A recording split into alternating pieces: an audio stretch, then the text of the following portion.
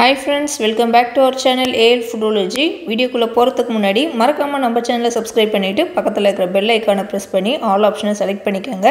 அப்போ தான் நான் போகிற எல்லா வீடியோஸோட நோட்டிஃபிகேஷனும் உங்களுக்கு கிடைக்கும். இன்ஸ்டாகிராம்லேயும் அப்படியே நம்ம பேஜை ஃபாலோ பண்ணிக்கோங்க. இன்றைக்கி நல்ல ஒரு டேஸ்டியான சிக்கன் சுக்கா ரெசிபி தான் செய்ய போகிறோம் வாங்க எப்படி செய்யறதுன்னு பார்க்கலாம். இந்த சிக்கன் சுக்கா செய்கிறதுக்கு நான் ஒரு கிலோ அளவுக்கு சிக்கன் எடுத்திருக்கேன். அதை வந்து நல்லா மஞ்சள் தூள்லாம் போட்டு வாஷ் பண்ணி எடுத்து வச்சுருக்கிறேன். இப்போ இதுக்கு தேவையான மசாலா சேர்த்துக்கலாம்.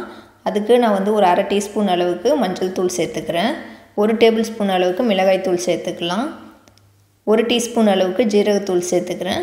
ரெண்டு டீஸ்பூன் அளவுக்கு சிக்கன் மசாலா பவுடர் சேர்த்துக்கிறேன். இது கடையில் வாங்கின சிக்கன் மசாலா பவுடர் தான். கொஞ்சம் இஞ்சி பூண்டு பேஸ்ட்டு சேர்த்துக்கிறேன். ஒரு ரெண்டுலேருந்து மூணு டீஸ்பூன் இருக்கிற அளவுக்கு.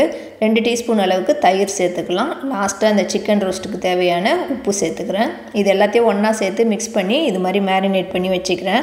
இது வந்து நல்லா நான் ஒரு மணி நேரத்துக்கு மேலேயே வந்து இதை வந்து நம்ம அப்படியே மேரினேட் பண்ணி வச்சுருந்தா மசாலா வந்து சிக்கனில் நல்லா ஊறும். இப்போ ரோஸ்ட் செய்கிறதுக்கு நம்ம வந்து ஒரு பேன் வச்சு அதில் மூணு டேபிள் ஸ்பூன் அளவுக்கு நல்லெண்ணெய் சேர்த்துக்கிறேன்.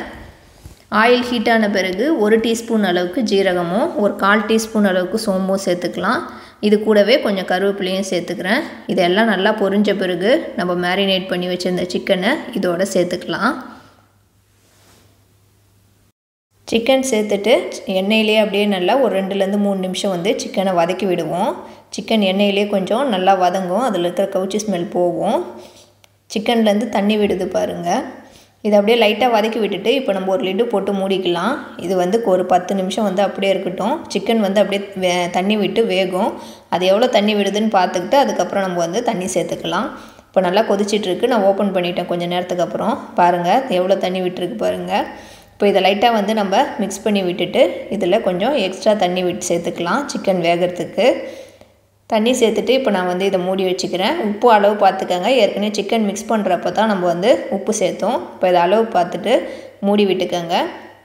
இது வந்து நான் ஒரு கால் மணி நேரத்துலேருந்து இருபது நிமிஷம் வரைக்கும் வச்சுருந்தேன். இப்போ ஒரு இருபது நிமிஷத்துக்கு அப்புறம் ஓப்பன் பண்ணுறேன் பாருங்கள் நல்லா தண்ணி சுண்டி சிக்கனும் வெந்துருச்சு. நல்லா கிரேவி கொஞ்சம் திக்காக வந்திருக்கு பாருங்கள் இதை அப்படியே வந்து நம்ம மிக்ஸ் பண்ணி விட்டுக்குவோம். இந்த ஸ்டேஜில் நான் வெங்காயம் ஒன்று கட் பண்ணி வச்சுருக்கேன் ஸ்லைஸ் பண்ணி அதை வந்து இதோடு சேர்த்துக்கிறேன். வெங்காயம் சேர்த்துட்டு இந்த சிக்கனோடையே நல்லா சேர்த்து நம்ம மிக்ஸ் பண்ணி விட்டுக்கலாம். இந்த சிக்கன் ரோஸ்ட்டுக்கு வந்து நம்ம வந்து வெங்காயம் ஃபஸ்ட்டே சேர்க்க வேணாம். இது மாதிரி இடையில சேர்த்துக்கிட்டா நல்லா டேஸ்ட்டாக இருக்கும் வித்தியாசமாகவும் இருக்கும். இப்போ இதை நல்லா வந்து நம்ம மிக்ஸ் பண்ணி விட்டுக்கலாம்.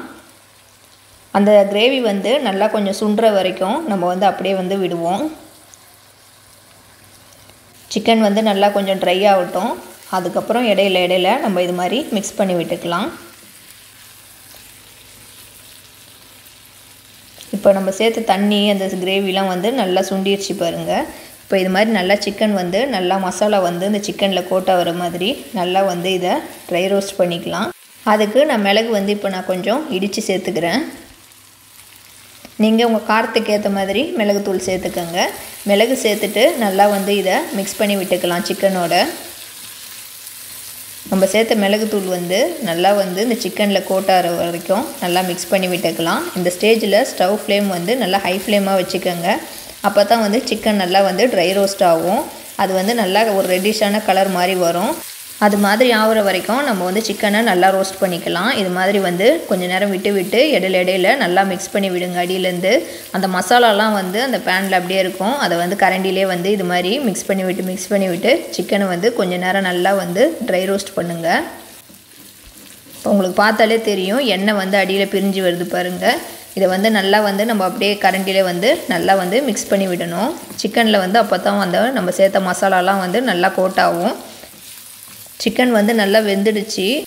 நம்ம தயிர்லாம் சேர்த்து மிக்ஸ் பண்ணதுனால சிக்கன் நல்லா சாஃப்டாக இருக்கும். இந்த மசாலா வந்து நல்லா சிக்கனில் கோட் ஆகிற வரைக்கும் நம்ம இது மாதிரி ட்ரை ரோஸ்ட் பண்ணிவிட்டு லாஸ்ட்டாக கட் பண்ணி வச்சுருக்க கொத்தமல்லி இலையும் சேர்த்துக்கிறேன். கொத்தமல்லி இலையை சேர்த்துட்டு நல்லா வந்து நம்ம சிக்கனோட மிக்ஸ் பண்ணி விட்டுக்கலாம். உங்களுக்கு பார்த்தாலே தெரியும் சிக்கன் வந்து நல்லா கொஞ்சம் ரெட்டிஷ் கலரில் வருது பாருங்கள் நல்லா ஃப்ரை ஆகணும்.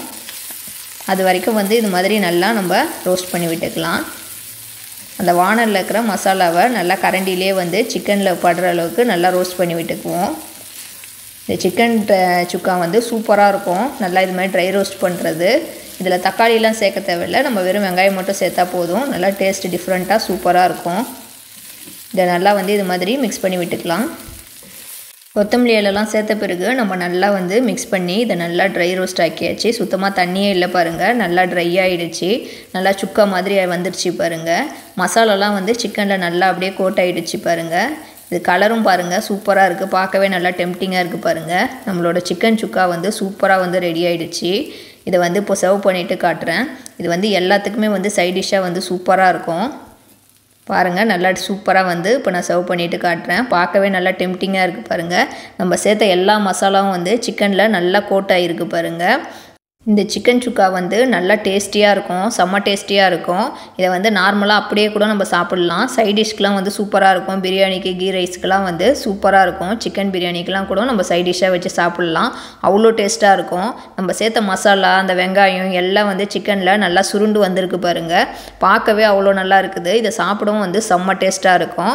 கண்டிப்பாக நீங்கள் இது மாதிரி செஞ்சு பார்த்துலன்னா கண்டிப்பாக அந்த சிக்கன் சுக்காவை செஞ்சு பார்த்துட்டு எப்படி இருந்துச்சுன்னு கமெண்ட்டில் சொல்லுங்கள் இந்த வீடியோ உங்களுக்கு பிடிச்சிருக்கும்னு நினைக்கிறேன். பிடிச்சிருந்தா லைக் பண்ணிக்கோங்க. இந்த வீடியோவை உங்கள் ஃப்ரெண்ட்ஸ் அண்ட் ஃபேமிலிஸ்க்கும் ஷேர் பண்ணி விடுங்க அப்புறம் நிறைய பேர் இன்னும் நம்ம ஏஎல் ஃபுட்டோலஜி சேனலை சப்ஸ்கிரைப் பண்ணாமல் பார்த்துட்ருக்கீங்க. ஸோ மறக்காமல் சப்ஸ்கிரைப் பண்ணிவிட்டு பக்கத்தில் இருக்கிற பெல் ஐக்கானையும் ப்ரெஸ் பண்ணிக்கோங்க. தேங்க்யூ ஃபார் வாட்சிங்